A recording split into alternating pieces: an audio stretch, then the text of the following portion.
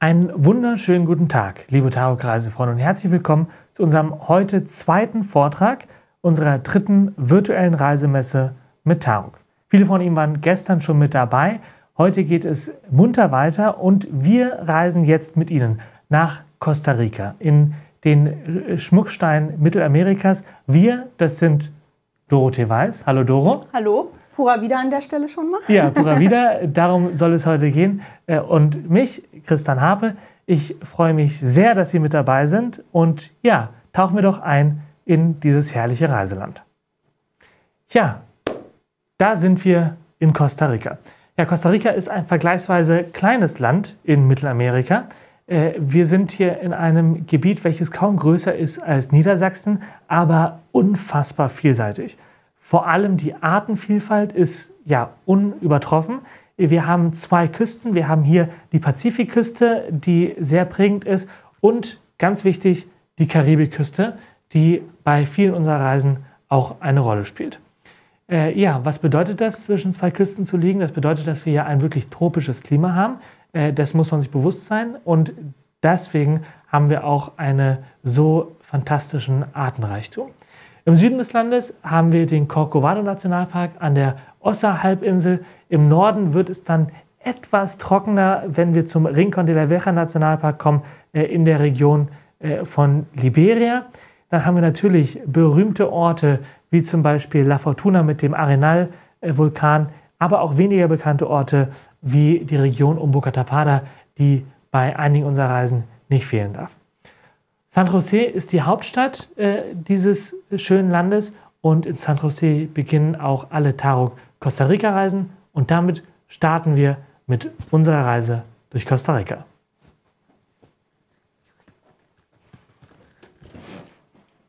Tja, liebe Doro, du warst nicht nur einmal bis jetzt in Costa Rica unterwegs. Oh, das war die falsche Richtung. So, genau. Ich war schon mehrfach in Costa Rica, ja. habe ja auch ein paar Monate mal da verbracht und mich zieht es auch immer wieder dahin, weil das Schöne ist, man entdeckt immer wieder neue Tier- und Pflanzenarten und es zeigt sich natürlich immer mal wieder was Neues. Aber du hattest ja auch schon die Möglichkeit, äh, Costa Rica kennenzulernen. Ja, ich habe mich sehr gefreut, dass dieses Jahr, dieses Jahr letztes Jahr äh, geklappt hat. Da war ich mit meiner lieben Freundin äh, drei Wochen unterwegs auf den Spuren äh, unserer Tarot-Kreisen. Wir haben wirklich viel erleben dürfen, äh, das Ganze sehr genossen. Ähm, bevor wir jetzt in den Reisevortrag starten, Doro, warum zieht es sich immer wieder nach Costa Rica? Was macht dieses Land aus deiner Expertensicht so besonders und so faszinierend? Die Größe des Landes ist auf jeden Fall, macht das Reisen entspannt. Man hat eben keine Riesendistanzen und man hat aber auf dem kleinen Gebiet einfach eine unglaubliche Vielfalt von Bergen, Vulkanen, den Küsten. Ja. Und natürlich ist der Dschungel einfach immer wieder spannend, weil ja. sich immer wieder neue Tiere zeigen, immer wieder neue Facetten sichtbar sind und das ist einfach. Und es gibt immer noch genug Tiere, die man nicht gesehen hat. Also das ist einfach und von denen gibt es immer wieder aufregend. Genau. Sehr viele. Ja, was ich spannend fand auch äh, sind die Distanzen. Also äh, es ist wirklich nicht weit. Manchmal dauern die Strecken etwas länger, als man äh, vermuten würde aufgrund der Entfernung, aber äh, der Ausbau der Straßen ist heutzutage wirklich gut ähm, und deswegen kommt man sehr gut von A nach B. Ja, und kann in einer vergleichsweise kurzen Zeit unglaublich viel erleben. Ähm, ja, und äh, wir haben uns heute vorgenommen, weil wir eine Vielzahl von Costa Rica und auch Kombinationsreisen, zum Beispiel mit Nicaragua, im Angebot haben, äh, jetzt nicht eine Reise vorzustellen, sondern wir wollen Ihnen einige Höhepunkte Costa Ricas vorstellen. Äh, Sie sehen, das Tarok-Team kennt sich aus. Äh, hier aus dem Team waren wirklich schon viele von uns unterwegs und so werden die Reisen von Jahr zu Jahr weiterentwickelt. Starten wir doch mit San José. San José ist ja die Hauptstadt Costa Ricas. Die Hauptstadt Costa Ricas, da ist auch der internationale Flughafen, von daher landen wir da. Ähm, ist jetzt selber nicht die allerschönste Kolonialstadt äh, Mittelamerikas. Es gibt ein paar schöne Gebäude, wie hier das Nationaltheater. Ja. Ähm, es ist auf jeden Fall ganz nett, da mal einen Tag zu verbringen. Es gibt ein sehr interessantes Goldmuseum, mhm. ähm, ist aber jetzt nicht eine Stadt, wo man mehrere Tage einplanen muss. Nee, aber der eine Tag oder halber Tag, der lohnt ja, sich. Finde ich schon ist auch. eine erstaunlich lebendige Stadt, finde ich. Ist, ja. ja. Also es ist auf jeden Fall für einen Tag mal oder eben um auch einfach die Reise abzuschließen, ähm, ein sehr schöner Stopp. Ähm, aber eben, wie gesagt, man darf jetzt nicht wie in Mexiko oder in anderen ja. äh, Regionen, zum Beispiel auch Nicaragua, ähm, also Kolonialstruktur fehlt da so ein bisschen. Das hat man eben wenig, ja. aber es ist trotzdem eine, eine sehenswerte Stadt. Und, aber natürlich fahren wir nach Costa Rica wegen der Natur. Ja, am Flughafen erwartet Sie in jedem Falle Ihre deutschsprachige Reiseleitung. Das ist ja klar. Sie sind hier in einer kleinen oder Kleinstgruppe unterwegs mit niemals mehr als zwölf Teilnehmern. Äh, und das Thema deutschsprachig, das ist in Costa Rica doch noch mal etwas wichtiger als in anderen Ländern. Ja, also die allgemeine Sprache ist natürlich Spanisch. Englisch, äh, Englisch kommt, mit Englisch kommt man auch schon ja. an vielen, gerade in touristischeren Gebieten, Hotels, kommt man da gut auch durch. Aber Deutsch ist natürlich eher Mangelware. Aber unsere Reiseleiter, die sprechen alle ein sehr gutes Deutsch. Ja. Und ähm, was natürlich auch wichtig ist, gerade wenn man dann die verschiedenen Tier- und Pflanzenarten hat, da ist es ja schon schön, wenn man da auch jemanden hat, der das in der eigenen Sprache nochmal erklären kann. Eben, und gerade wenn man kein Spanisch spricht, da ist man in Costa Rica wirklich äh, gut beraten, wenn man mit einem Reiseleiter unterwegs ist, der sich eben auch sehr gut auskennt. Genau, ja. genau. Und dann starten wir jetzt auch schon einfach mal in die erste Region außerhalb ja. äh, der Stadt und des zentralen Central Valley Gebiets. Ähm, wir gehen jetzt erstmal ein Stück nach, ähm, nach Süden in die Berge. Costa Rica hat nicht nur Küste, sondern eben auch Berge zu bieten. Ähm, der Cerro de la Muerte und diese Nebelwaldregion sind wirklich ein tolles Gebiet. Da geht es bis äh, über 3000 Meter in die Berge auch hoch. Das ist, was man vielleicht nicht vermuten würde. Aber da ist ja dieser Bergrücken äh, im Zentrum mhm. äh, Costa Ricas, den wir da äh, überschreiten, quasi auf dem Grat entlangfahren. Äh, teilweise wirkliche Serpentinenstrecken, äh, aber ein sehr, sehr spannendes Gebiet, auch vegetationstechnisch. Wir haben eben hier einen Nebelwald. Ja. es ist nicht ganz so warm, im Gegenteil, nachts kann es sogar mal kühl werden, was Sie ansonsten auf Ihrer Costa Rica-Reise nicht erleben werden. Eher selten. In San Jose hat man auch mal, ja. je nach Jahreszeit, so ein bisschen äh, entspanntere Temperaturen, kühlere Temperaturen. Aber eben genau in den Bergen braucht man auch mal eine Jacke abends. Und, äh, aber wenn man eben dann auch da durchfährt und auch durch Wolken und Nebel eben fährt, sieht man eine unglaublich reiche Vegetation und man kann eben diesen tollen äh, Quetzalvogel ähm, dort sehen. Die Federn wurden ja früher von äh, den Azteken ja. äh, als äh, Schmuck der, ähm, ja, für, die, für die Könige genutzt. Also es ist wirklich ein ganz äh, toller, relativ kleiner Vogel, aber mit eben sehr schönen Schwanzfedern. Und da gibt es die Möglichkeit, den zu sehen. Ihr hattet, glaube ich, auch die Möglichkeit, den da Wir hatten zu die Möglichkeit und das Glück, auch einen, äh, einen, einen zu sehen. Äh, wir dachten, dass wir auf eine große Wanderung gehen müssten, um den zu finden. Und äh, gerade hatte unsere Wanderung begonnen. Äh, da haben wir schon einen, einen ersten erspäht. Äh, wie sich herausstellte, war es dann auch gleich ein Pärchen. Und wir hatten Glück, dass wir zur Balzzeit da waren, sodass das Männchen auch mit diesem wunderschönen Federkleid geschmückt war. Das ja. ist ja nicht immer so. Ähm, aber ja, wirklich äh, tolle Vögel. Äh, ich schätze mal so 25 cm, 30 cm hoch, ähm, 25 cm hoch, ähm, ohne Schwanz. Und der Schwanz kommt dann dazu, der kann sehr imposant sein. Ja, also wirklich schön ähm, und äh, ja, man kann verstehen, warum er Göttervogel genannt wird. Also ein Fernglas lohnt sich äh, auf jeden Fall mitzunehmen, weil die Tiere sind eben ganz wichtig klein und gut versteckt äh, in den Bäumen, in hohen Bäumen auch. Ja. Ne? Und da ist es auch gut, wenn man mal selber ein Fernglas hat, wo man ein bisschen gucken kann und ja, wir werden es noch sehen. Äh, die Reiseleitung hat meistens auch äh, ja, ein, ein, ja. ein, Fernglas mit dabei äh, auf Stativ, äh, damit man da durchgucken kann, um die Tiere zu sehen, gerade die Vögel, äh, aber auch andere Tierarten, die wir sehen wollen. Aber nehmen Sie ein Fernglas mit, es lohnt sich. Genau. Dann geht es weiter von, äh, von den Bergen an die Küste zurück. Und jetzt gehen wir gleich in ein ganz besonderes Gebiet auf die ja. Osa-Halbinsel, wo der Corcovado-Nationalpark ist.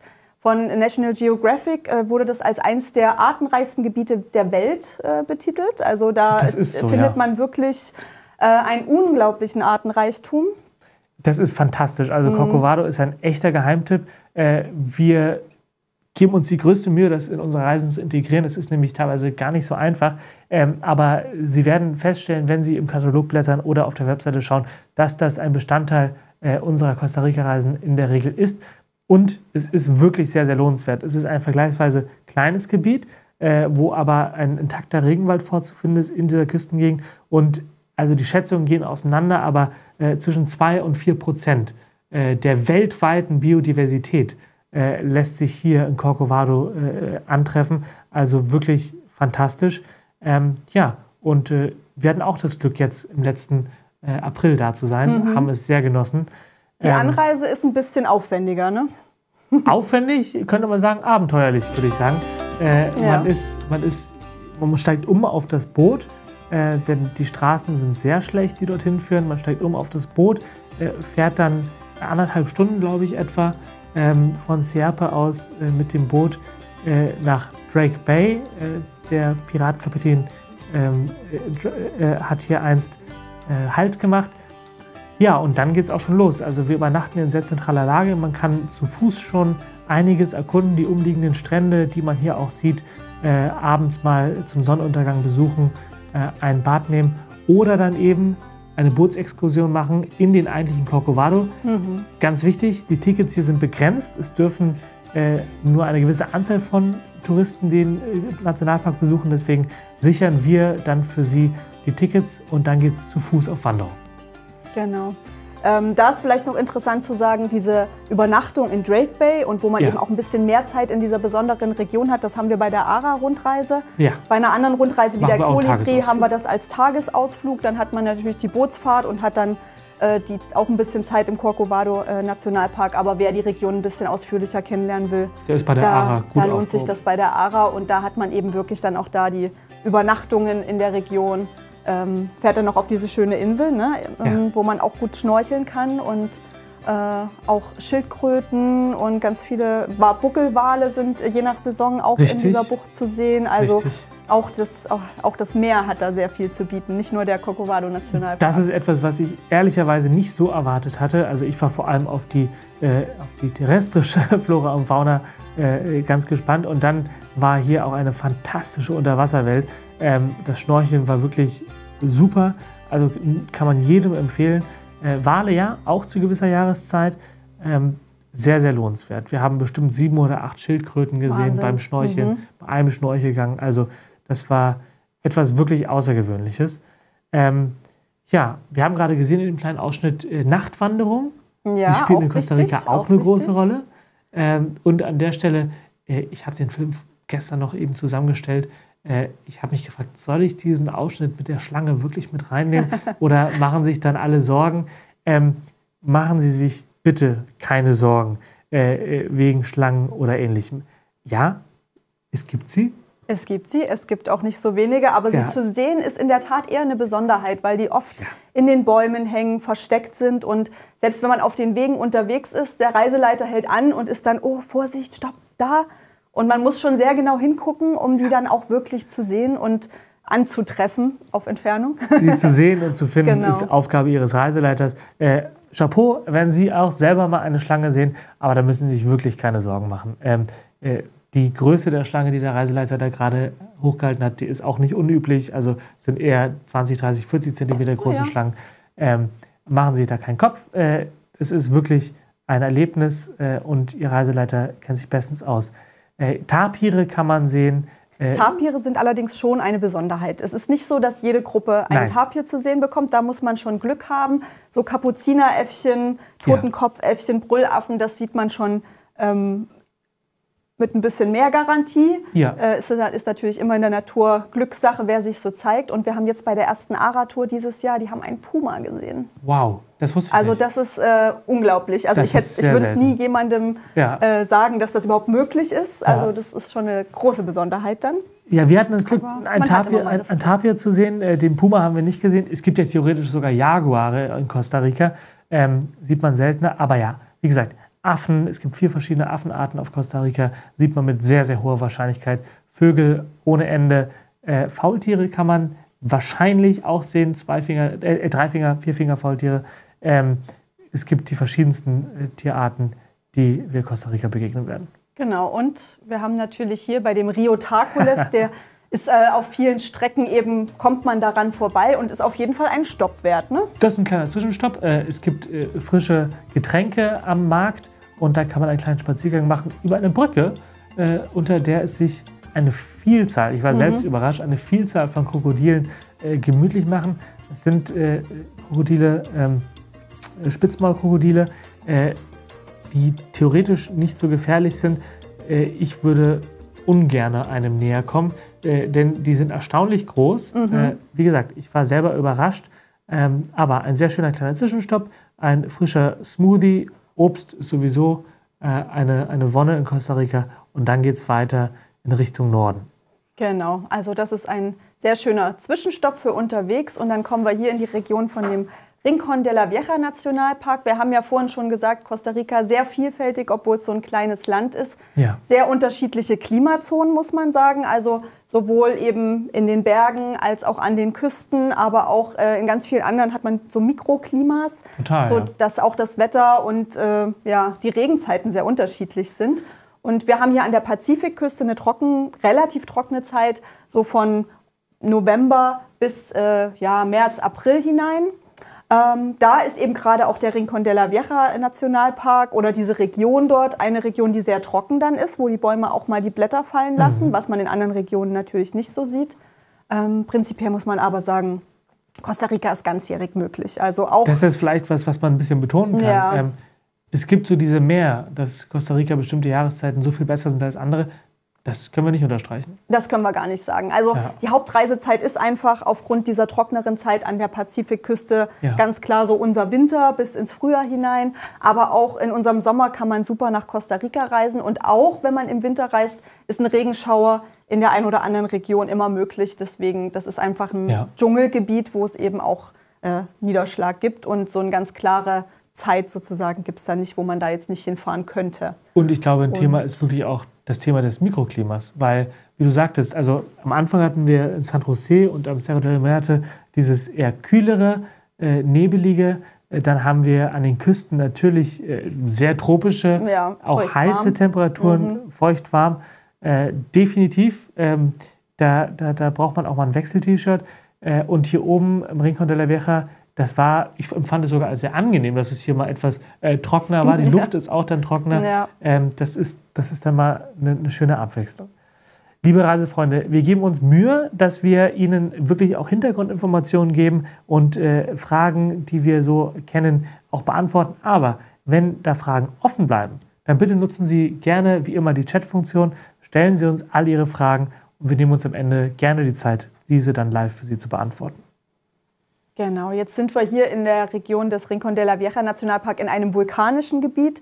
Ähm, ja, Vulkane prägen Costa Rica genauso wie die Dschungellandschaften. Also die findet man auch gerade eben in diesem zentralen Gebiet und dann Richtung Nicaragua hin immer wieder äh, Ja. in verschied verschiedensten Formen. Absolut. Und man findet eben auch sehr viel vulkanische Aktivität, was auch sehr spannend ist. Man hat eben Schlamm, Blubberlöcher, Schwefel, der aufsteigt, heiße Quellen. Das ist eben gerade hier auch äh, in dieser Region äh, zu finden. Ihr wart, glaube ich, auch äh, in der Region unterwegs, meintest ja, du? Ne? wir waren in der Region unterwegs. Äh, Ich habe es tatsächlich in sehr guter Erinnerung. Äh, Wir haben dort schöne Wanderungen gemacht zu Wasserfällen. Wir waren äh, bei den heißen Quellen, den Fumarolen am Rincon de la Vieja selber. Sehr, sehr schöne Wanderungen dort am Fuße des Vulkans. Und ja, wir waren auch in den heißen Quellen baden. Ja. Das, das ist wirklich sehr schön. Ähm, Also absolut lohnenswert ähm, und auch eben nicht bei jeder Costa Rica-Reise mit dabei. Genau. Und von dem einen Vulkangebiet kommen wir eigentlich gleich ins nächste, der Arenal. Das ist, glaube ich, so der berühmteste und bekannteste Vulkan Costa Aus gutem Ricas. Aus gutem Grund. Es ist ein Bilderbuchvulkan, das kann man sagen. Es ist der klassische Vulkankegel. Ja. Ähm, bis vor, ja, es ist wahrscheinlich schon über zehn Jahre jetzt wieder her. Ähm, er hat ja lange Zeit noch äh, Lava gespuckt und man konnte dann wirklich auch, äh, wenn es dunkel war Ja. und keine Wolken waren, auch da sind immer mal Wolken um den Vulkan natürlich, ähm, wenn man gute Sicht hatte, konnte man die Lava so runterlaufen sehen. Letztes Jahr war er noch mal aktiv. Etwas, etwas. Auch etwas. mit Lava? Ein kleines bisschen, äh, glaube ich, weil äh, wir waren gerade da im April und zwei Wochen nachdem wir da waren, gab es eine Meldung Ja. äh, von Aktivität. Aber im Endeffekt äh, sieht man hier und da noch ein äh, Rauchwölkchen, aber eigentlich ist er jetzt erstmal eingeschlafen. Er war ja jahrhundertelang still. Mhm. Ähm, und was ich sehr, sehr interessant finde, ist, dass man lange Zeit gar nicht wusste, dass es sich überhaupt um einen Vulkan handelte. Und deswegen äh, kam es ja dann auch zur Katastrophe. Als der, äh, als der Arenal ausbrach, ähm, waren alle völlig überrascht, äh, dass hier jetzt plötzlich dieser Vulkan äh, ja, Asche und Glut nach oben schleuderte. Und es hat auch einige Todesopfer gefordert. Äh, heutzutage gibt es natürlich Seismographen und äh, Messinstrumente, die äh, vorwarnen würden, sollte es nochmal zu einem größeren Ausbruch kommen. Und so kann man jetzt den Anblick genießen und vor allem auch die Wanderung. Das war dir nochmal wichtig, diese wunderschönen Hängebrücken. Genau, also zum einen ist man um den Vulkan Arenal unterwegs, wo man auch die Lavafelder sehen ja. kann. Das ist auch ganz spannend. Und ähm, ja, ist es eine sehr reiche Natur dort auch. Und dort hat man eben die Möglichkeit, über verschiedene hohe Hängebrücken durch den Dschungel zu laufen, durch die Baumkronen auch mal so ein bisschen zu laufen. Auch diese Höhe dieser unglaublichen Urwaldriesen ja. mal so nachzuempfinden. Ähm, das ist, finde ich, auch ein ganz tolles Erlebnis und eine sehr schöne Aktivität in der Region. Also die Wanderung fand ich als besonders lohnenswert. Ähm, es ist zwar alles äh, natürlich, das muss man wissen in Costa Rica, ähm, es ist hat eine vergleichsweise wirklich gute touristische Infrastruktur. Das heißt, die ja. Wanderwege sind in aller Regel gut ausgebaut. Äh, man muss ein bisschen trittfest sein, aber es sind definitiv keine Steigeisen gefragt. Also es sind äh, ganz entspannte Wanderwege. Ähm, und äh, hier haben wir viele verschiedene Tierarten gesehen. Wir haben Faultiere gesehen, wir haben die Affenarten gesehen, wir haben kleinere Tiere, Ameisen, Blattschneiderameisen. Also eine sehr, sehr schöne Wanderung über diese Hängebrücken, eben wegen den verschiedenen Stockwerken. Ja, und wir sehen hier nochmal die äh, bunten Frösche. Ja. Äh, das ist natürlich, sind so Details, auf die es in Costa Rica dann auch ankommt. Ja. Die sind ja wirklich manchmal ganz klein. Und da ist es gut, wenn der Reiseleiter weiß, wo man gucken kann, unter welchen ja. Blättern die sitzen. Oder wenn man eben eine Nachtwanderung macht und da kommen die ja raus und da kann man die eben auch nochmal besonders gut finden. Auf Suchen muss Fall. man trotzdem. ja, das genau. schon. Wir Tja. bleiben so ein bisschen im Norden und nähern uns der äh, Grenze zu, äh, zu Nicaragua. Wir fahren in die äh, Region Boca Tapada, die haben wir bei ein paar Touren mit dabei. Ja. Ähm, da geht es dann auch mal auf ein bisschen Schotterpiste, die letzte Strecke. Also sonst, wie du schon gesagt hast, sind die Straßen auch eigentlich ganz gut ausgebaut in Costa Rica mittlerweile. Ähm, da haben wir noch mal eine Strecke, wo man ein bisschen über Schotter muss. Dafür kommt man in eben eine schöne abgelegene Region ähm, direkt an der Grenze zu Nicaragua. Das ist auf jeden Fall auch ganz, ganz spannend. Ja, wir sind mit dem Boot bis an die Grenze rangefahren. Äh, genau. Das würden Sie dann auch machen, äh, wenn Sie mit uns nach Bocatapada reisen. Und das ist eben auch das Schöne, wenn Sie sich äh, unsere Reisen nach Costa Rica anschauen. Natürlich haben wir äh, viele der Klassiker mit drin, aber wir machen überall auch links und rechts einen Schlenker zu Gebieten, die nicht die üblichen sind. Zum Beispiel Bocatapada, eine sehr, sehr schöne Region. Du sagtest, es ist ländlich, etwas abgeschiedener, äh, wirklich lohnenswert. Äh, hier vor allem natürlich die Bootsfahrten. Ähm, man hat wiederum eine fantastische Vogelwelt, äh, kann kleinere Wanderungen machen, Nachtwanderungen. Also ein sehr, sehr schöner äh, Abstecher dort in den Norden an genau. die nicaraguanische Grenze. Ja, zu Nicaragua kommen wir später noch mal ein bisschen. Ja. Wir sind jetzt hier noch in Sarapiquí, das ist wieder ein bisschen weiter äh, Richtung, Richtung Süden von Boca Tapada aus, aber du hast ja schon gesagt, Bootsfahrten ganz wichtig.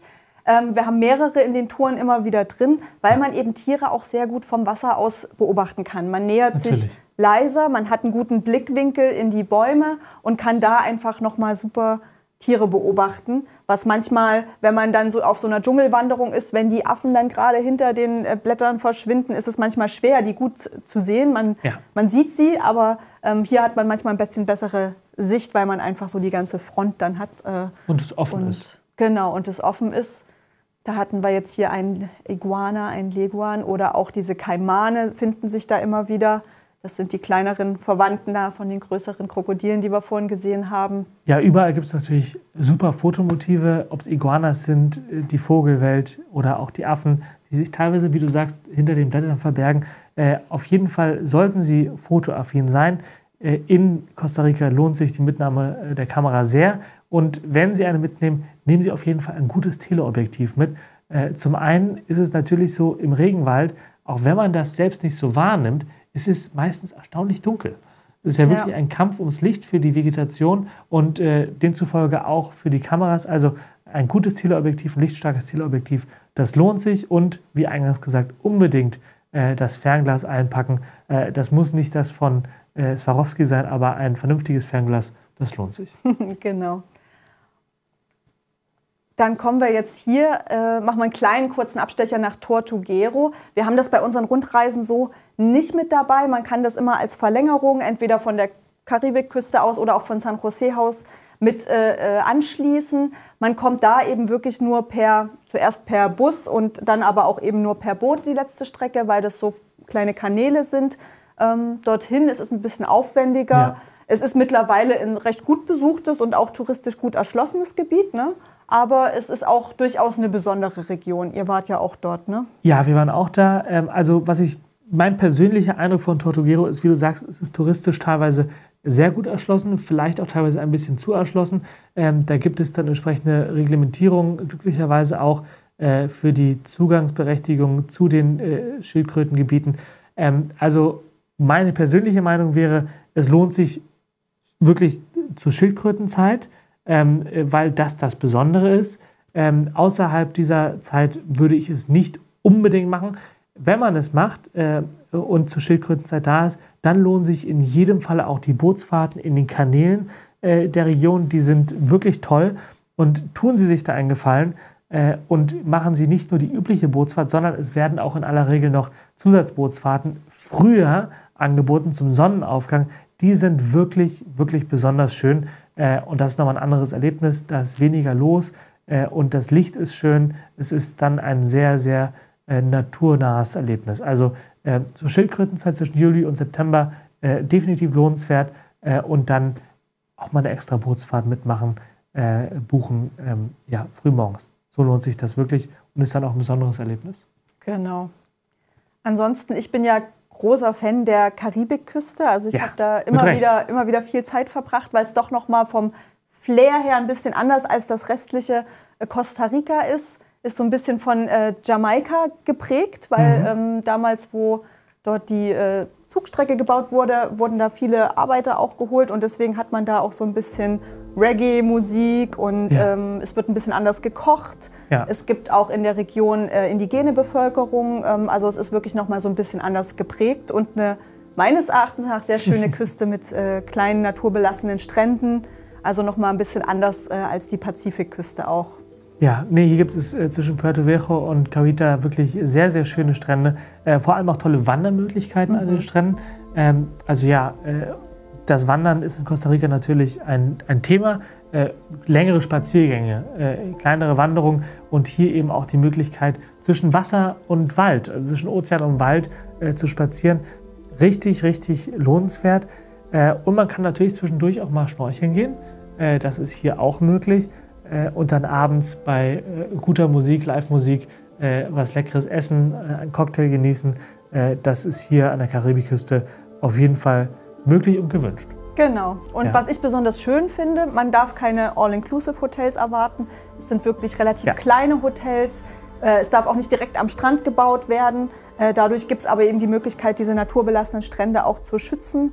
Ähm, genau, das Korallenriff davor ähm, ermöglicht eben schönes Schnorcheln. Also ich finde auch, das ist eine ganz, ganz tolle Region und wir haben die auch in ein paar Reisen als Abschluss, wo man auch einfach noch ein bisschen länger bleiben kann. Das ist natürlich der Clou und, an der Sache. Genau. Ähm, äh, wunderschöner Ausklang der Reisen und eben auch die Möglichkeit dann zu sagen, nach so einer schönen Reise, da bleibe ich noch mal zwei Tage länger oder drei.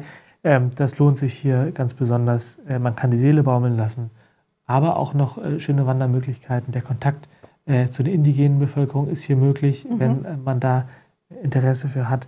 Ähm, fand ich auch sehr eindrucksvoll. Also ein sehr schöner, sehr, eine sehr schöne Region. Genau. Und dann kommen wir jetzt noch mal als kleinen Abstecher. Das sieht nicht mehr aus wie Costa Rica, nee, Doro. Das ist nicht nur hier? Costa Rica. Wir haben eine Kombinationsreise Costa Rica mit Nicaragua. Bei ja. Nicaragua ist ein bisschen die Anreise äh, aufwendiger, weil es keine Direktflüge von Europa nach Nicaragua gibt. Deswegen haben wir das eben mit Costa Rica auch kombiniert, weil man das sehr gut über Land machen kann. Mhm. Und äh, das Besondere ist, wir fahren eben da wirklich ähm, ja, im Inland über eine ganz kleine Grenze mhm. äh, ins Land rein und starten dann die Rundreise äh, auf dem Archipel Solentiname. Ähm, also das ist wirklich eine abgelegene Region. Ja. Und also mir liegt Nicaragua sehr am Herzen. Ich war da auch schon mehrfach. Es ist ein super schönes Land, hat schöne Natur, aber eben auch ganz tolle ähm, Kolonialstädte. Viele, die Costa Rica von früher kennen, sagen, dass Nicaragua noch so ein Flair hat wie Costa Rica vor 20, 30 Jahren, weil es einfach auch ein bisschen weniger touristisch insgesamt ist. Wir können ja hier mal ein bisschen reingucken. Ja, ähm, dazu muss man dann wirklich sagen, also Costa Rica ist ein fantastisches Reiseland. Äh, er freut sich auch bei unseren äh, Gästen großer Beliebtheit. Und deswegen hast du gesagt, Nicaragua, das ist die perfekte Ergänzung dafür. Auf jeden Fall, ja. auf jeden Fall. Und gerade wenn man eben sagt, Natur finde ich toll, ja. aber eben auch so ein bisschen mehr noch Kultur mit äh, hinein, das ist eben bei Nicaragua dann einfach nochmal der Aspekt. Ist auch ein Land mit Vulkanen, mit Dschungel, mit beiden Küsten, äh, aber eben auch mit schönen Kolonialstädten. Die mhm. haben eben noch ein bisschen mehr Kolonialerbe äh, zu zeigen. Und ähm, wie gesagt, wir starten hier in dem Nicaragua-See, ein riesiger Süßwassersee. Dieses Archipel besteht aus 36 kleinen Inselchen. Wir sind da in einem Hotel, das familiengeführt ist. Ja. Dafür, dass man so abgelegen ist, äh, hat man in diesem Hotel zum Beispiel nur abends dann Strom und auch nur kaltes Wasser. Da muss man eben, das muss man eben in Kauf nehmen. Aber dafür äh, muss man auch wirklich anerkennen, dass man in einer sehr abgelegenen Region ist. Ähm, Wo wieder Bootsfahrten auch eine große Rolle spielen. Genau, na klar. Auf, zum einen natürlich, ja. um auf das Archipel zu kommen, ja. aber wir machen eben auch einen Ausflug in dieses Wildreservat, Wildreservat an der Grenze zu Costa Rica. Mhm. Das ist nicht auf dem Archipel, sondern dann an, am Festland sozusagen, äh, direkt an der Grenze Nicaragua zu Costa Rica. Und auch da wieder die Möglichkeit vom Boot aus und auch auf einer Wanderung viele Tiere zu sehen, Natur. Also da äh, steht Nicaragua auch nichts äh, hinterher. die Tierwelt, die Natur genau. muss ja sehr ähnlich sein. Ja. Oder? Ja. Würdest du da, na klar, als Ornithologe äh, kann man sicherlich noch verschiedene ja, äh, äh, Vogelarten in Nicaragua finden, die man in Costa Rica nicht hat und andersrum. Aber insgesamt ein ähnliches Naturerlebnis. Ja, man hat schon ähnliche Naturerlebnisse, gerade in solchen Naturschutzgebieten. Und ähm, genau, aber dafür ist eben auch diese Kombi gerade schön, wenn, ja. man, wenn man beide Länder besucht ähm, dann hat man eben wirklich auch ja, neben Kultur eben noch tolle Naturerlebnisse. Ja. Auf Solentiname selber gibt es eben noch so eine äh, Künstler, äh, verschiedene Künstlergemeinden, die malen. Also es gibt so naive Kunst, wo äh, in so einem bestimmten Stil Bilder gemalt werden und auch solche Balsaholztiere und ähm, ja, verschiedene äh, Masken und solche Sachen werden da geschnitzt und bemalt. Das ist auch sehr interessant. Da besucht man dann auch mal so einer, so einer Familie, die das eben machen. Sehr spannend, wir haben, ja. Äh, genau, wir haben auch im Büro hier einige dieser äh, kleinen Walzervögel, die sind sehr hübsch, sehr ja. bunt. Äh, also das ist auch ein tolles Mitbringsel. Ja. Genau. Also da ist auf jeden Fall, ähm, kann man viel Spannendes über dieses Archipel erfahren. Und jetzt kommt so eine Kolonialstadt, von der du geschwärmt hast, äh, was du sagst, das hat man in Costa Rica eher weniger. Genau. Hier in genau. Nicaragua, also Granada. Granada, auch am Nicaragua-See gelegen und hat eben wirklich eine große, solche Kathedralen, richtig schöne Kolonialstraßen. Ähm, das hat man eben wirklich in Costa Rica, auch in San Jose wenig. Und äh, davon kann man eben in Nicaragua nochmal voll eintauchen in das Kolonialerbe. Man geht dort auf Märkte, das ist auch ja. sehr schön. Also das ist wirklich, man sieht hier auch ein bisschen so äh, im Hintergrund die Vulkane mhm. und dann eben trotzdem auch nochmal so ein bisschen mehr städtisches Flair. Das ist auch ganz spannend. Gerade in Granada ähm, sind Pferdekutschen auch immer noch so ein traditionelles Fortbewegungsmittel. Also da fährt man dann auch auf der Stadtbesichtigung ein Stück durch die Stadt ja. mit der Pferdekutsche. Man hat eben diese bunten Häuser. Das ist auf jeden Fall ein ganz besonderes Erlebnis. Sind die Städte auch. gut erhalten? Die sind gut restauriert. Ja. Die sind auf jeden Fall, also gerade Granada, Leon, ähm, da wurde viel auch investiert, äh, um eben die, gerade die Innenstädte auch wieder. Man sieht auch immer mal Häuser, die in nicht so einem guten Zustand mhm. sind, aber wir sind auch in Hotels, die da ähm, eben so ein Kolonialflair, so Innenhöfe haben, die einfach, wo ein Kolonialgebäude sehr schön hergerichtet und ja. sehr schön renoviert wurde. Also da hat man auf jeden Fall Freude dran, da durch die Straßen zu schlendern und das sich anzugucken. Ja, klasse. Sehr spannend. Genau. Und Vulkane dürfen auch in Nicaragua nicht fehlen. Natürlich. Und hier gibt es einen ganz äh, besonderen Vulkan oder einen besonderen Vulkankrater, äh, wo man wirklich in den Schlund gucken kann ja. und die Lava blubbern. Ist sieht. noch aktiv, ja? Der ist aktiv, der okay. blubbert, also der ist jetzt nicht aktiv im Sinne von, dass er Lava spuckt, aber, aber man hat eben wirklich einen offenen Krater, wo man von oben die Lava sieht und sieht, wie die blubbert und äh, ganz ja, farbintensiv ja. da. Das ist wirklich was Besonderes und das ist ähm, ja, ein, ein besonderes Erlebnis, dass man da so nah rankommen kann und direkt reinschauen ja, kann. Fantastisch. Genau. Muss auch interessant riechen. Das hat man ja, also, nee? Ich überlege gerade, das war nicht so. Schwefel? Nee. Hat man ja teilweise bei den Fumerolen. Ja. Ähm, das kenne ich auch von den Wanderungen, dass man dann so einen leichten Schwefelgeruch hat. Also hier eher weniger. Habe ich jetzt nicht so in Erinnerung, ja. wenn. Also bei anderen Vulkanen in äh, Regionen in Costa Rica kann ich mich auch gut, auch beim Tenorio Nationalpark genau, erinnere ich mich gut an den Geruch immer wieder. Hm, weiß ich jetzt gar nicht. ja. Genau, nö. kleinere äh, Kolonialstadt auch noch, Leon, auch sehr schön. Da sind wir natürlich dann auch äh, zu Besuch. Und da in der Nähe gibt es eine berühmte Rumdestillerie, der Flor de Caña wird da ähm, äh, hergestellt. Also den kann man auch besuchen. Ähm ja, nicaraguanischer Rum, ist ja nicht ganz so äh, bekannt wie jetzt kubanischer Rum, aber ja auch äh, wirklich Spezialität ja. und dort sehr beliebt. Ja, auf jeden ja. Fall. Auch in Costa Rica. Ja. Auch da ist Rum durchaus allerdings. sehr beliebt. Genau. Allerdings. Und auch hier ist eben, dass man in den Straßen immer mal wieder auch so Pferdewagen sieht und äh, äh, schöne Märkte hat, Markthallen. Und äh, Leon hat vor allen Dingen diese tolle große Kathedrale. Also da merkt man wirklich, dass da ähm, ja, von der Kolonialgeschichte her viel passiert ist. Und äh, das ist durchaus sehr, sehr spannend, finde ich. Genau. Ja, naja, das Schöne ist ja, dass man in Mittelamerika äh, jetzt grundsätzlich, also Costa Rica, Nicaragua, man kann sich sehr entspannt bewegen. Äh, man kann ja in den Städten äh, wirklich schön flanieren. Äh, man fühlt sich immer wohl. Äh, also natürlich sollte man jetzt abends auch nicht mit der Kamera um den Hals herumlaufen, aber insgesamt ist es ja ein sehr sicheres Reisen. und ja, das, das habe ich in Costa Rica als sehr angenehm empfunden. Ja, auf jeden Fall. Ja. Also ein bisschen, ein bisschen gucken, was man mit sich rumträgt, genau. gerade abends oder am ja. Strand lässt man jetzt auch nicht die Kamera liegen, wenn man ins Normaler Wasser geht. Menschenverstand. Genau. Ich meine, in Barcelona würde ich das auch nicht tun. Von nee, daher. auf keinen Fall. Ja. ja. genau. Aber ansonsten ganz entspannt. Und wir besuchen hier die ähm, Pueblos Blancos, mhm. also ähm, mit dem Partner vor Ort, der hat so Puntas de Vida, nennt er das, so ja. verschiedene Orte überall im Land, wo eben ganz spezielle äh, Traditionen und solche Sachen, wie eben auch diese Balzerholzvögel zum Beispiel, äh, diese Kunst, wo das eben äh, besucht werden kann und äh, auch aufrechterhalten wird. Und hier ist es eben auch so, da besucht man eine Töpferschule und die machen wirklich den, den, ähm, den Ton mit den Füßen und erklären auch, wie man das früher so rituell gemacht hat, dass da Musik dazu gespielt wurde und quasi drauf getanzt wurde so ein bisschen. Ja. Die machen das alles per Hand. Dann gibt es eben auch, mittlerweile haben die natürlich auch ein bisschen ähm, professionellere Werkzeuge, aber Sehr zeigen spannend. eben dort auch mal, wie das äh, früher so hergestellt wurde. Und das sind wirklich auch alles Materialien aus der Region, ja. die Farben, alles Natur.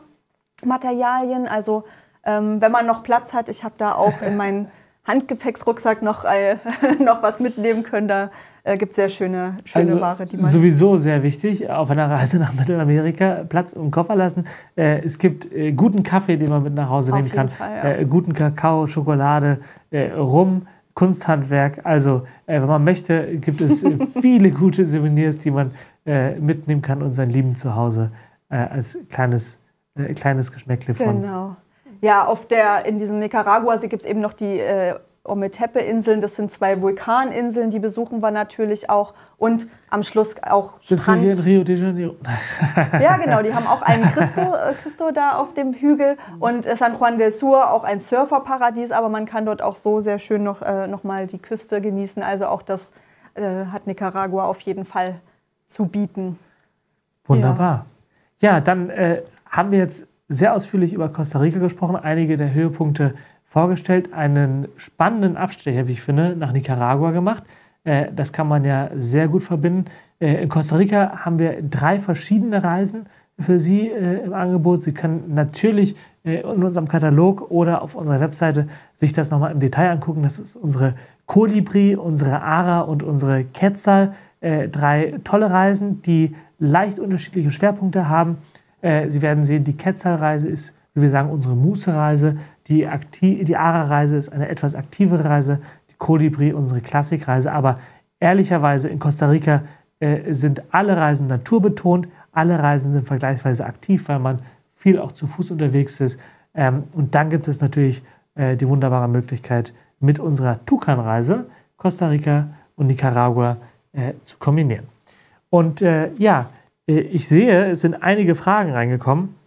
Ähm, äh, sehr gerne äh, können, Sie, können Sie noch weitere Fragen stellen, ähm, während wir hier plaudern. Ähm, ansonsten, einen kleinen Moment, während sich das hier nochmal aktualisiert. Äh, ansonsten ist heute auch, wie gesagt, äh, zwischen 11 bis 18 Uhr unsere Reiseberatung für Sie äh, verfügbar. Das heißt, wenn wir Ihnen nicht ausführlich genug antworten, können Sie gerne anrufen und dann bekommen Sie da nochmal ausführlich alles berichtet oder auch natürlich per E-Mail und ab morgen wieder die ganze Woche.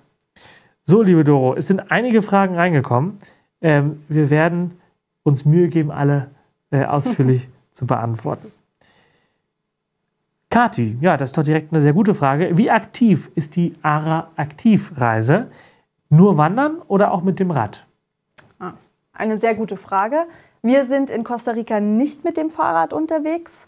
Ähm, und auch unsere ARA Aktiv ist keine äh, extrem anstrengende Wandertour. Ja. Sie hat ähm, ein paar mehr Möglichkeiten für auch mal längere Wanderungen als jetzt unsere anderen Reisen. Aber man muss sagen, ähm, wie du schon gerade meintest, Costa Rica ist eher ein Land, wo man sich eben zu Fuß bewegt. Gerade ähm, wenn man da eben im Dschungel läuft. Es geht nicht unbedingt um Strecke, weil man natürlich immer guckt, äh, wo gibt es was zu sehen. Aber es ist eben schon so, dass man äh, fast alles zu Fuß macht und nur wirklich die Fahrtstrecken vom ja. Hotel zur nächsten Station dann mit dem äh, Auto zurücklegt. Also ganz anders als jetzt in, auf Pirschfahrten in Namibia oder Südafrika, wo man ja doch auch mehr sitzt, ist hier eben das ja. alles dann zu Fuß das Naturerlebnis. Und es ist nicht super anstrengend, aber wir haben es vorhin schon gesagt, es ist feucht warm, das macht es dann anstrengender. Und es kann eben auch sein, dass der Boden, wenn es geregnet hat, nachts mal äh, ein bisschen feucht ist und man schon ein bisschen gucken muss oder auch Wurzeln. Ähm, das macht es ein bisschen herausfordernder, ja. aber es sind keine extremen Höhen, die wir zurück, äh, also Höhenunterschiede, die man zurücklegt. Das meiste ist relativ ähm, gemäßigt so von der, ähm, ja. von der Anstrengung her, was die, das was die also Wanderung festes angeht. Festes Schuhwerk, ja, aber man braucht jetzt keine Steigeisen. Ja, nee. Aber ähm, was tritt, also dass man was trittfestes, dass man entweder Trekking-Sandalen oder auch äh, Wanderschuhe, Trekking-Schuhe, die ein bisschen Grip haben, ja. ist schon gut. Nur mit Turnschuhen kann es sehr rutschig werden, wenn man da stimmt. im Dschungel unterwegs ist. Ja. Aber mit dem Fahrrad, ähm, das war ja noch die Teilfrage. Haben wir jetzt nichts sind, im Programm. Genau. Ähm, ja, ist bei uns jetzt kein Teil des, des Programms. Ja, ehrlich gesagt, also natürlich kann man auch mit dem Fahrrad unterwegs sein, ähm, aber die meisten Strecken, die von Interesse sind, äh, das sind Spazier- und Wanderstrecken. Ähm, also das Fahrrad ist da sonst nur Mittel zum Zweck. Äh, wir machen längeren Strecken mit dem Auto und sonst zu Fuß und damit sind wir auch gut unterwegs. Wenn man jetzt in der Karibik nochmal verlängert äh, ein paar Tage, dann kann man sich natürlich für die Zeit auch ein Fahrrad mieten, ähm, äh, um dann von einem Örtchen zum nächsten mit dem Rad zu fahren oder abends nochmal äh, äh, zum Restaurant. Ähm, aber sonst, also wäre das, äh, wäre das nicht unbedingt notwendig. Marion fragt, kann man sich auf Costa Rica ohne Gefahr abends draußen aufhalten? Ähm, ja, insgesamt schon, aber natürlich mit äh, einem gewissen, wie wir schon vorhin gesagt haben, gesunden Menschenverstand, äh, wenn man schon ein bisschen gereist ist. Also äh, ich würde schon dazu raten, dann abends nicht die große Kamera mitzunehmen ja. und eben, ja, oder auch am Strand äh, Wertgegenstände natürlich nicht liegen zu lassen. Ähm, es gibt, also in den meisten Regionen kann man sich aber eigentlich auch abends relativ gut bewegen. Es ist nur, also ich sag mal, wenn man jetzt an der Karibikküste ist, in Puerto Viejo ist abends durchaus noch was los, da gibt es viele Bars. Äh, ansonsten in vielen Regionen, wenn man jetzt äh, ja, auf so einer Lodge ist, die ein bisschen abgelegener ist, da dann ist man eben abends nicht. auf der Lodge, macht vielleicht noch eine Nachtwanderung, aber ist eben sonst äh, entsprechend eher dann auch in der Unterkunft. Und in Costa Rica ist es so, es ist wirklich ähm, von den Tageszeiten ähm, von sechs bis sechs quasi hell ungefähr. Ja. Das heißt, es wird sehr früh dunkel. Ja. Und dadurch ist man auch abends eigentlich mit dem Tag so relativ schnell dann durch nach dem ja. Abendessen und noch so ein bisschen und ist aber morgens dann am besten auch schon wieder um fünf, um sechs eben dann wach und unterwegs, weil es dann eben auch schon wieder was zu sehen und zu ja. erleben gibt. Ich empfinde, das Dadurch ist, ist der Rhythmus ein bisschen anders einfach, ne, genau. als man vielleicht in anderen Urlauben das macht. Ja, ich empfinde es als sehr angenehmen Tagesrhythmus, weil man einfach mit, mit, den, mit der Natur sozusagen äh, äh, den Tag startet und dann eben auch abends eher früher beendet. Also man, man ist etwas früher im Bett und ähm, startet auch früh ähm, mit der Natur. So, dann fragt Marion noch, welche Impfungen werden empfohlen? Costa Rica hat keine Pflichtimpfungen. Also von daher, ja. das ist relativ entspannt. Man sollte schon aber Mückenschutz natürlich ja. äh, mitnehmen, also lange Ärmel, auch was zum Einsprühen. Also die Mücken sind da noch die größte Plage, die man ja. hat. Und da kann man leider vorher auch nichts äh, impfen oder irgendwas machen. Das ist eben einfach was, was so da ist. Aber ansonsten braucht man jetzt eine normale Reiseapotheke. Normale Reiseapotheke, Standardimpfungen. Genau. genau. Ulla Beckers fragt, zu welcher Reisezeit sieht man die Wale dort? Ja, das ist, ähm, also es gibt einmal die Wale aus dem Norden, die in diese Region da bei, Ja. äh, bei Drake Bay kommen, um ihre äh, Kälber da eben, äh, dass die da aufwachsen. Ja. Ähm, und einmal aus dem Süden. Dadurch gibt es eben quasi zwei Zeiten. Die beste Zeit, äh, wo man die sehen kann, ist äh, eher auch äh, so unser Sommer bis September Zweite sowas. Jahreshälfte eigentlich. ne? Ähm, ja, also Geht das nicht was bis man, November immer, rein? was man immer sehen kann, sind äh, Delfine. Ja. Und aber die Wale, also es gibt einmal eine Saison, die ist jetzt so ähm, Januar, Februar, März. Mhm. Und die noch bessere Saison, wo man die wohl noch besser sehen kann, äh, ist dann eher so September, Oktober, November. Es ist ja immer ein bisschen unterschiedlich, Ja. wie die sich dann so, aber ist dann eher so Sommer bis, bis so Anfang Herbst. Ja. Genau. Und das ist wohl die Zeit, wo man sie noch besser sehen kann. Aber es gibt auch jetzt im Frühjahr eine Zeit, ein Zeitfenster, wo eben auch Buckelwale dort sind. Ja. Und dann üben die Kleinen da in der Bucht, äh, trainieren ihre Ja, Flossen ja und springen. Ja. Und das ist schon. Da kommen diese Fotos her. Äh, Ja. Das muss sehr schön sein.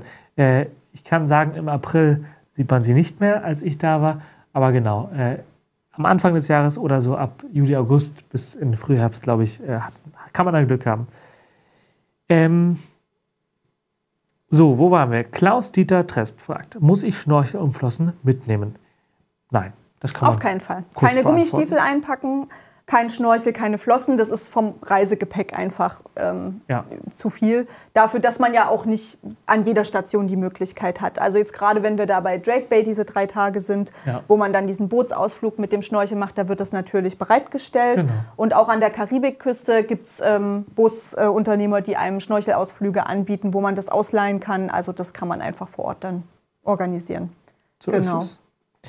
Katrin Zingler fragt, sollte man, ach, das ist dieselbe Frage, sollte man zum Schnorcheln seine eigene Ausrüstung mitnehmen oder gibt es sie vor Ort, vor Ort gute Ausrüstung? Kein Problem. Ja, Bernd man. fragt, kann man seine eigene Drohne mit auf die Reise nehmen und hat auch Zeit, während der Reise Aufnahmen zu machen? Äh, da kann ich gerne kurz antworten, äh, lieber Bernd. Also, man kann, äh, das kann man auch sehr gut. Äh, wichtig an der Stelle ist einfach, dass man sich äh, vor Ort vernünftig verhält und mit den Leuten äh, abspricht, dann hat da auch niemand was dagegen. Die Leute, hatte ich wirklich den Eindruck, die freuen sich eher, äh, wenn man ihr Land äh, festhält, Film fotografiert. Ähm, aber natürlich gibt es auch einige Orte, wo man das nicht machen sollte. Jetzt in irgendwelchen, zum Beispiel bei dem, äh, ja, in irgendwelchen kleineren äh, privaten Parks oder so, äh, da muss man sich immer vorher absprechen. Oder wenn ein großes Schild steht, dass hier Drohnen nicht erlaubt sind, dann lässt man natürlich die Drohne auch im Rucksack. Aber grundsätzlich kann man das in Costa Rica äh, äh, gut machen und hat hier und da auch wirklich tolle Möglichkeiten, äh, Drohnenaufnahmen zu schießen. Hier ist eine Frage von Martina. Kann ich mit einem Mietwagen mich gefahrlos um Land bewegen? Kann man. Man kann die Reise auch gut mit einem Mietwagen machen. Ähm, das ist gar kein Problem. Also, das geht. Ja. Dann, wie sicher ist Nicaragua, Doro? Nicaragua ist auch ein recht sicheres Land, also auch da muss man sich keine Sorgen machen. Äh, Im Rahmen der Gruppen ist es natürlich sowieso so, dass man mit der Reiseleitung unterwegs ist und die einem da auch bei Fragen oder wenn man sich unsicher ist, da jederzeit zur Verfügung steht. Aber insgesamt ist Nicaragua auch ein entspanntes Reiseland, ja. So, Katrin Zingler. Besucht man auf der Kolibri-Reise auch eine soziale Einrichtung?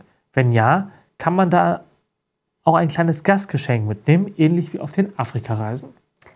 Wir haben bei den Costa Rica-Reisen verschiedene Tierschutz- und Naturschutzprojekte, also eher der Fokus darauf. Äh, Wir hatten mal eine Zeit lang ein soziales Projekt, aber da war dann auch immer das Problem, dass das war ein Kinderprojekt und dann eben von externen Kinderbesuchen ist ja dann auch immer ein bisschen kritisch.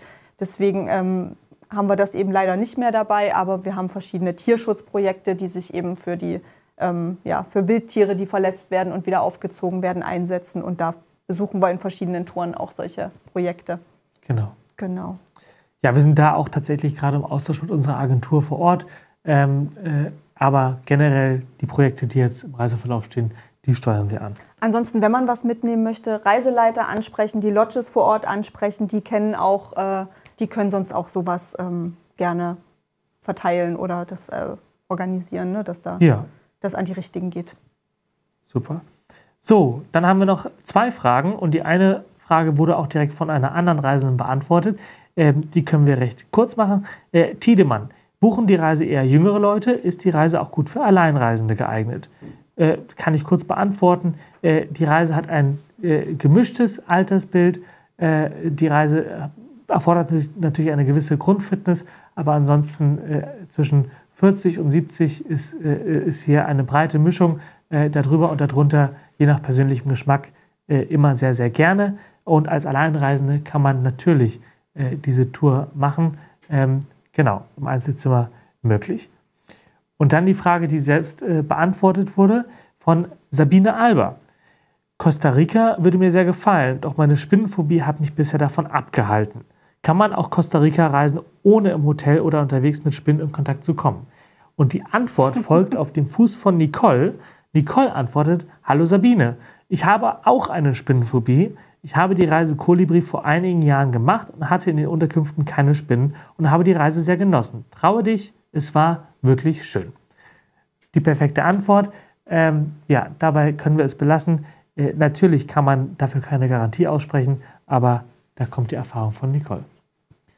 Liebe Doro, wenn du äh, jetzt nicht noch ein abschließendes Wort hast, dann äh, sage ich von meiner Seite Danke. Es hat viel Spaß gemacht. Und äh, jetzt geht es hier munter weiter mit den nächsten Vorträgen des Tages. Bis 18 Uhr äh, geht unsere virtuelle Reisemesse, der zweite Tag unserer virtuellen Reisemesse. Und hier jetzt direkt weiter mit dem facettenreichen und wunderschönen Großbritannien. Auf Wiedersehen und bis gleich.